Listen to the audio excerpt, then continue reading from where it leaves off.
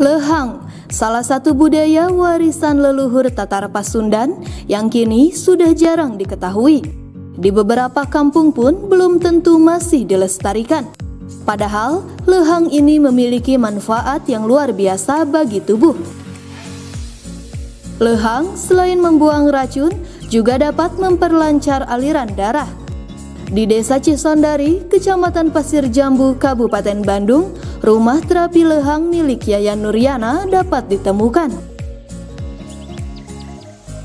Langsung membuat lehang tadinya ya buat keluarga, lagi pagi-pagi aja lagi ngelamun minum kopi. Oh gitu. Lihat kaso-kaso di atas genteng, ya langsung pengen bikin lehang.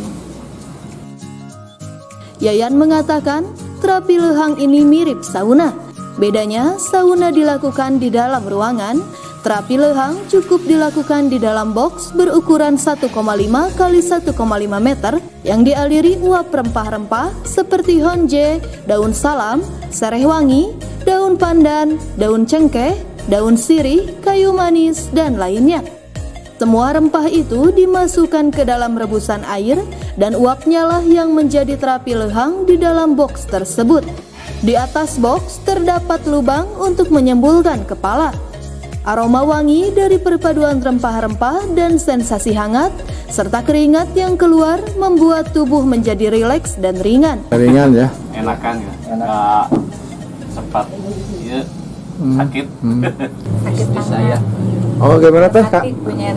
Rematik ya. Yayan mengatakan bahwa sudah banyak yang datang untuk dilehang dari berbagai kalangan dan berbagai daerah, mulai dari masyarakat, artis, dan para pejabat, dan dari daerah Jawa Barat, Pulau Jawa, bahkan mancanegara. mungkin dari yang dari Prancis, Perancis ada. terus Malaysia, Singapura, orang Amerika pun ya pernah ke sini. Thailand pernah seminggu di sini. Memang lehang di Tatar Sunda itu sudah ada dari zaman dulu. dari zaman dulu. Kalau masalah rempah-rempahan memang rempah-rempahan nggak susah di kita ini susah rempah-rempahan banyak. Iya. Dulu sebelum kita nanam ya mencari. Hmm. Sekarang udah dapat kemudahan karena kita udah banyak yang ditanam.